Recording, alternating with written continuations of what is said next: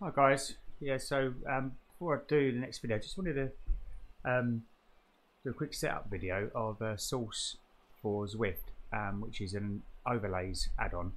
Um, I've just added some modifications to it. And there's not a lot of information out there showing you how to do all this. Um, I'm just going to show you how easy it is basically. Um, you need a Windows PC. This will only run on, on Windows. It's not for um, Apple, I don't believe. But yeah, there's a there's a really active um, Discord on here, um, and all the mods can be downloaded. Or links are all in here. There's quite a lot to look through. Um, yeah, so what I've got is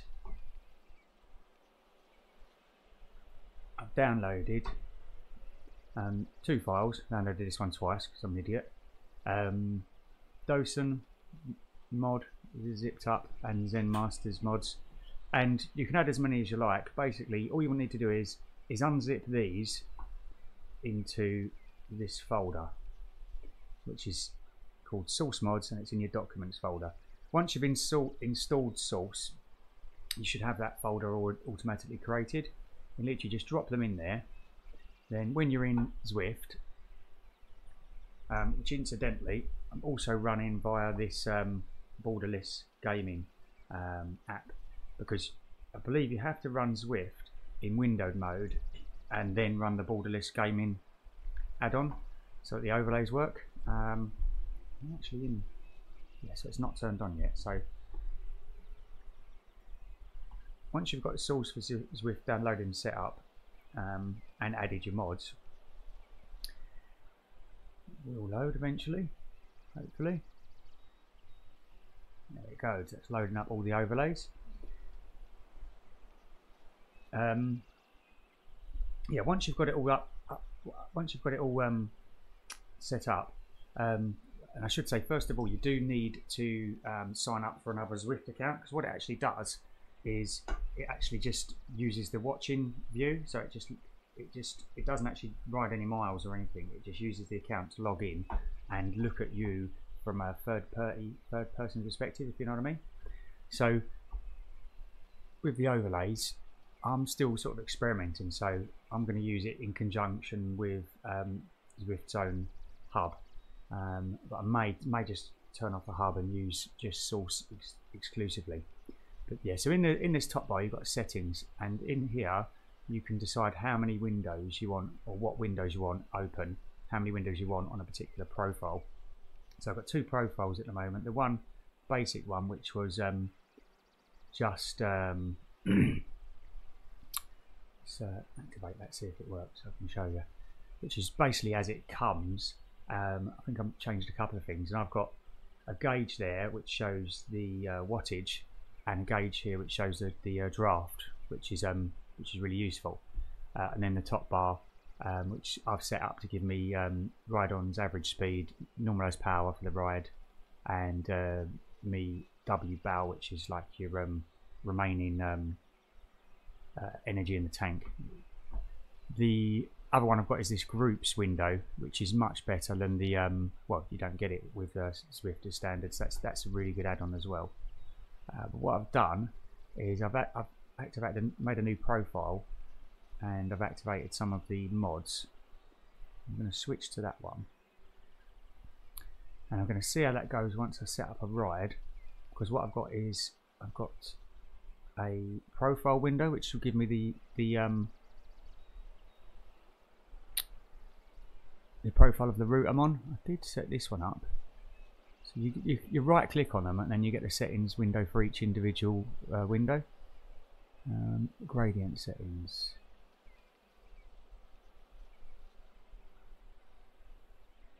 Um, I'm not sure why that's so big actually. I'm just going to resize the window, put it there. But yeah, there's literally infinite possibilities with this um, with this setup. Now I'm not sure how I'll get back to this. You can see it is a bit. How do I get back to this now? Right click. Right click. Let's minimize that so I can get back to this. Right, okay. Yeah, So I've got that activated. Um, is it showing the? Yeah, it is open. So the way to the way to cycle through these active windows is just to use the Alt and Tab button on your keyboard, and then you, you can either put them behind or in front, which you may or may not need to do to actually click other things that are on the screen. So there is that to bear in mind. What I'm going to do is I'm going to start a route now, and I want that one open, don't I?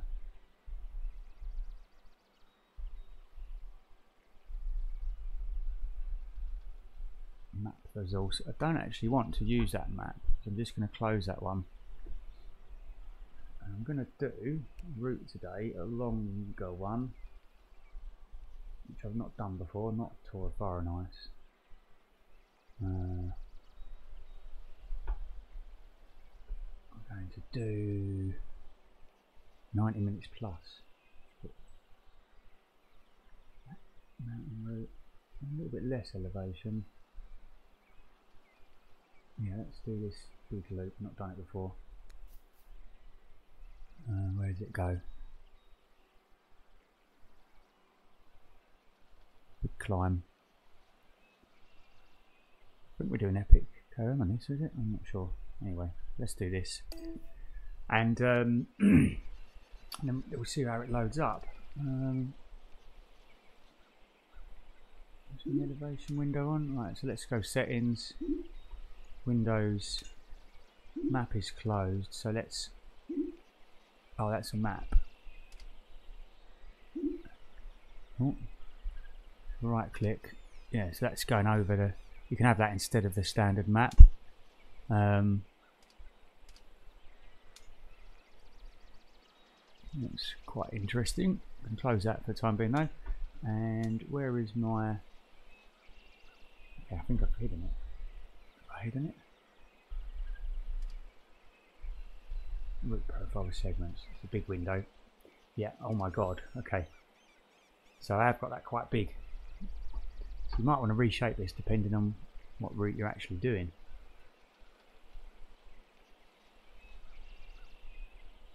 Uh, let's downsize it.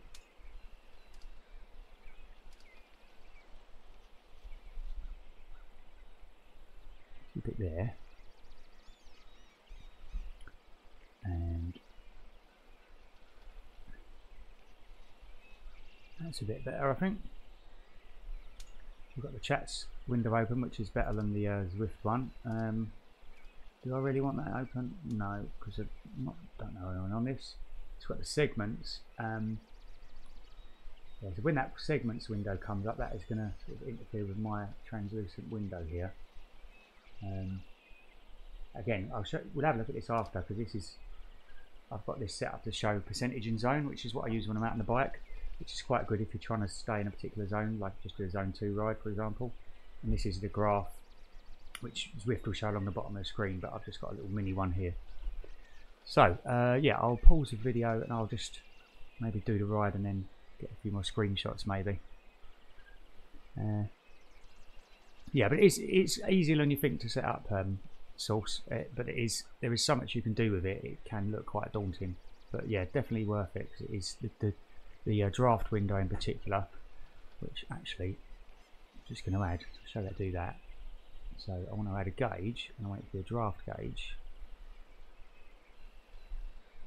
and I'm just going to click create, and there it is. I'm going to right click it, click settings. I want it to use this semi um, transparent theme. You can adjust that. adjust it to that there. And close that.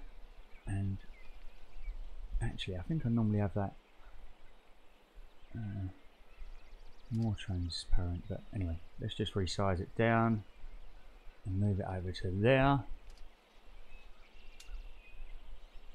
That looks okay. Um, I, sometimes I put a power gauge in as well as this power, but yeah, mate, let's just do that as well. It's quite nice.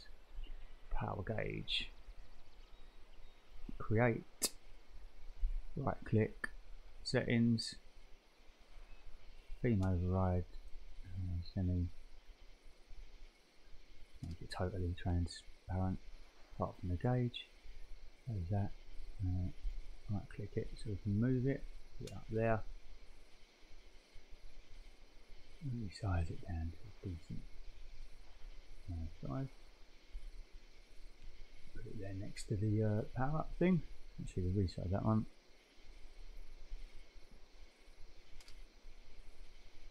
Get that same size.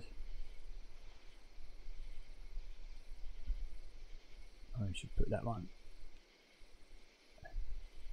Now I'm hoping that will give me more um, details on the um, gradient because you can actually get a decimal place. So if you're doing sort of 2.8 or 2.5, you'll, you'll know it rather than it just saying 2% or 3%, which I think is quite useful.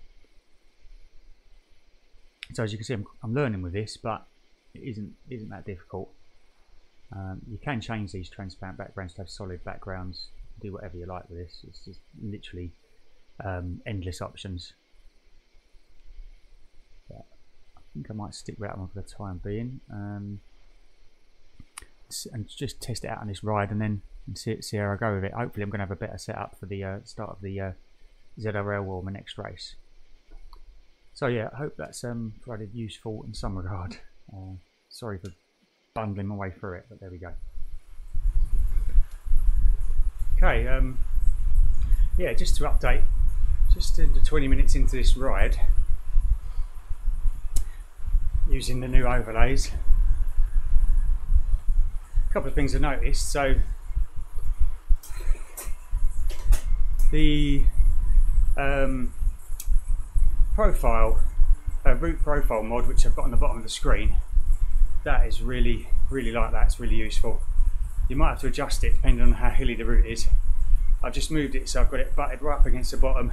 It doesn't really interfere with sort of my, uh, my vision uh, on the ride I got rid of the um, gradient, standalone gradient um, overlay because I'm, I'm, getting a constant gradient in the uh, top right of the profile one at the bottom there which gives me the decimal point which as you can see gives you much better information than the uh, Zwift info at the top right it gives you the exact gradient so that's quite useful. Uh, also, it gives you the um, distance to the next uh, segment. So it tells me I'm 30 kilometres away from Titans Grove KOM again. That's quite good. Um, I've got a mini sort of route elevation profile in the just uh, in the watching window on the left as well, and uh, that one I'll probably turn off because I just don't that's the point in that. But you could have a small one there if you didn't want the you didn't want the in, individual one somewhere else. Um, the other point to note on that is I've turned off the other riders on the bottom one. You can have the other pins which are like grey pins on it. Shows you where everyone else is. I thought that was a bit yeah just thought I'd keep it clean. Um, the other ones on the uh, watching window on the left I've got activated is the zones. Which I've got to keep it above 150. Um, yeah, it's a zones window, which yeah, I think that's really useful. I have a screen set up that my uh, hammerhead for my training rides, so that's really useful. The graph at the bottom, just to explain what that's showing, I had to figure it out. So I went along. The blue is your power, the green is your cadence and the red is your heart rate. Um, I don't know, oh and it also gives you your peak power within that ride or within that, that section that's, that's uh, viewable. Um, yeah, I mean that's uh, maybe that's a bit of a gimmick. I'm not sure what not sure what I'll get from that to be honest, but yeah, so I might disable that one as well. Uh, the other changes I've made to this recently from the stock uh, groups window on the right where it shows PR that's uh, that's me obviously um, I changed that to show you can show as many groups in front or behind. Now I've set that to default to five in front and two behind.